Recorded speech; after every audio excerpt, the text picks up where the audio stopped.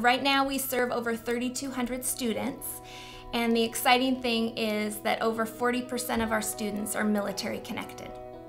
We've designed programs to help them adjust and um, maximize student learning.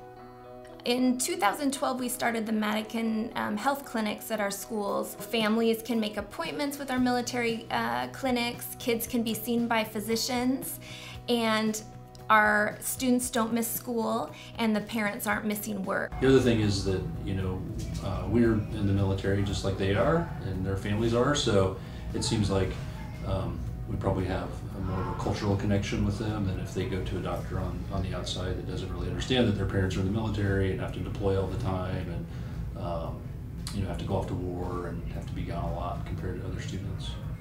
Our grant, the Safe and Sound Project, establishes a three tiered intervention service for all of our students. So we're taking a two prong approach. Our first one is how do we provide immediate supports for all of our students?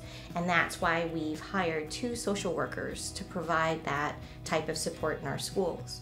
Our second approach is how do we create a system so that we can increase our capacity to help all students who may be facing a crisis situation or who may just need that additional support. A lot of the students I end up meeting with, no matter what, are connected to the military in some way, um, whether it's parents, grandparents, um, neighborhoods, etc. I always say I'm kind of like a school counselor, but I don't care as much about your grades as I do care about you as a person. To better support the needs of our active duty and recently separated military families, our district has two military family life counselors.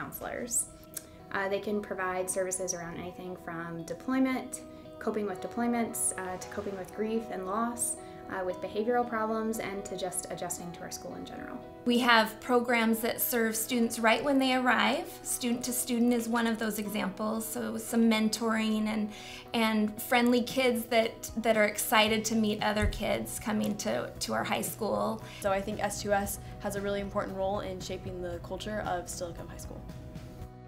We're just thrilled and excited to have been awarded this grant and we really look forward to sharing with our overall school community and our neighboring districts all the different initiatives that we'll be able to implement because of this funding.